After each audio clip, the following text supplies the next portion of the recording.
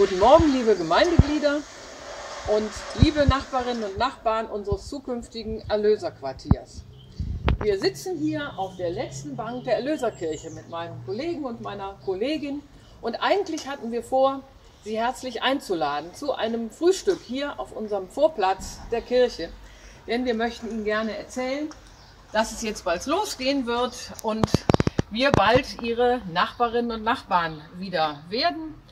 Wir wollen uns jetzt schon entschuldigen für die Geräuschkulisse, die wir Ihnen dann zumuten werden in den letzten Monaten. Aber wir hoffen, wir können Sie entschädigen dann im nächsten Jahr, wenn wir hier mit acht Wohnungen, einer Kindertagesstätte und einem wunderschönen Kirchraum, den wir nicht nur für unsere Kirchengemeinde bauen, sondern für Sie auch als Nachbarinnen und Nachbarn in unserem Fädel. Und wir hoffen, dass Sie die Stille genießen werden, Musik, Gottesdienste besuchen und natürlich wollen wir auch miteinander feiern und Frühstücke haben hier auf diesem schönen Vorplatz zusammen. Und wir hoffen, dass wir wenigstens ein Stückchen auch Ihre Lieblingsnachbarinnen und Nachbarn werden. Ja, echt schade, dass Sie nicht hier bei uns sitzen können und wir zusammen frühstücken. Denn es ist gemütlich, das Wetter ist klasse.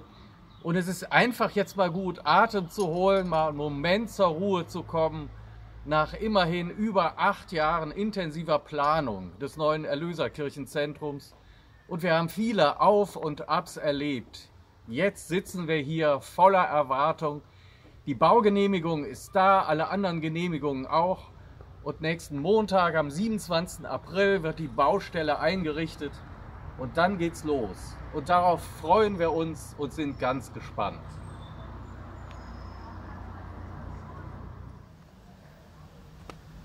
So, ich nehme Sie jetzt mal mit in die Kirche und dann gucken wir uns mal an, wie es da drinnen jetzt aussieht und was wir alles noch vorhaben.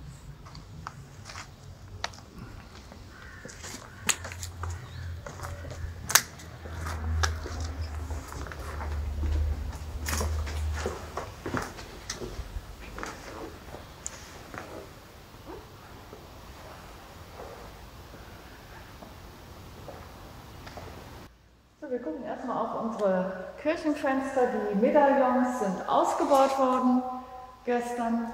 Die werden neu in das nächste Fenster integriert in unserer neuen Kirche.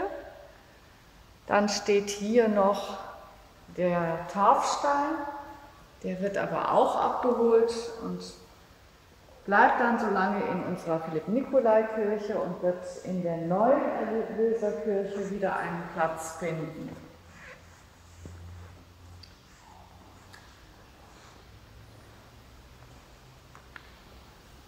Die Orgel ist ausgebaut und ist jetzt in Berlin.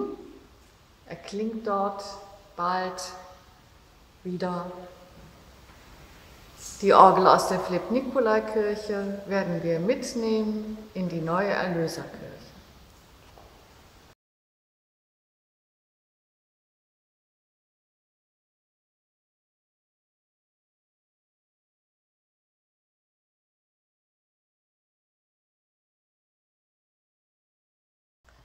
Der Grundstein der Erlöserkirche ist ausgebaut und er wird in der neuen Erlöserkirche wieder einen Platz finden.